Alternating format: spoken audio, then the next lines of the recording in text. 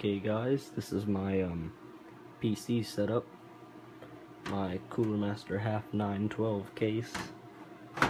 We'll go ahead and take the side panel off. Ooh. Stick this under here. No, don't lift it. Hold yourself like you did last time. Ah, there we go.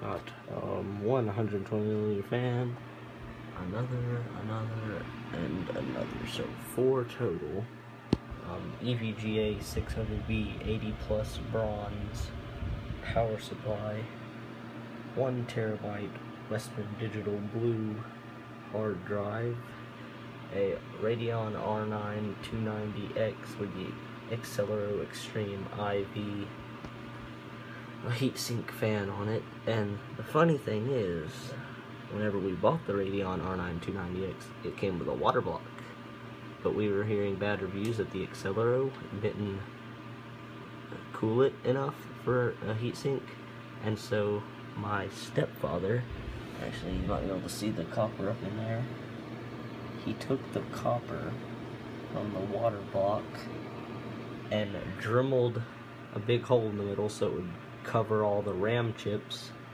so it would cool them better and stuck that on there so it's half water block and half Accelero Xtreme IV, and then my motherboard is a Asus A97 something or another.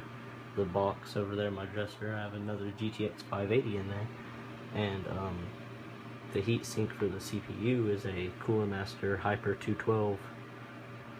Yeah. And for my RAM, I have 8 gigabytes of GDDR3 Ballistix RAM and yeah, other than that, I think we're good. If I missed anything, um, leave in the comments. Um, what should my next upgrades be? Y'all guys could should tell me that definitely. I want to get some blue LED strips to put in here.